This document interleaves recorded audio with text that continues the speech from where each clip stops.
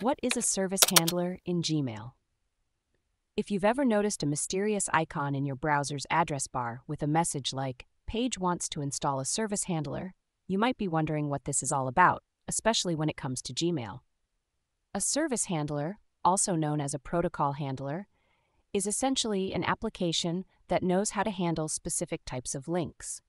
For example, when you click on a Mail To link, your browser needs to know which email client to open.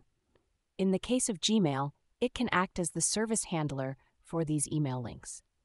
Here's how it works. When you visit a web page that includes a Mail To link, your browser checks if you have set Gmail as the default handler for email protocols. If you have, clicking on that link will open a new email in Gmail directly within your browser. To set Gmail as the default email handler in Chrome, you need to go to your Chrome settings.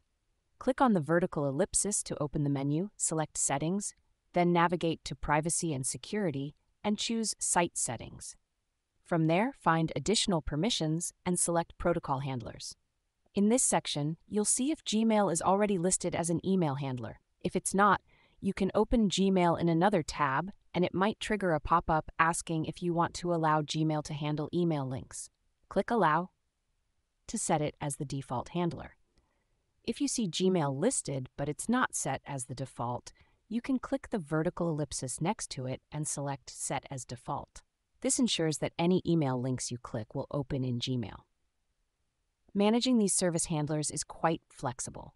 You can allow, deny, or ignore these requests on a case by case basis. If you don't want to see these requests at all, you can change the default behavior in your browser settings to Don't Allow Sites to Handle Protocols.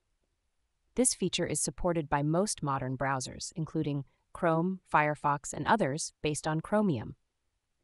Each browser has its way of handling these requests, but the principle remains the same to ensure that the right application opens when you click on specific types of links.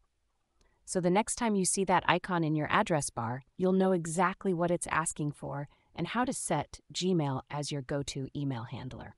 This can make your browsing experience more seamless, especially if you rely heavily on web based email services like Gmail.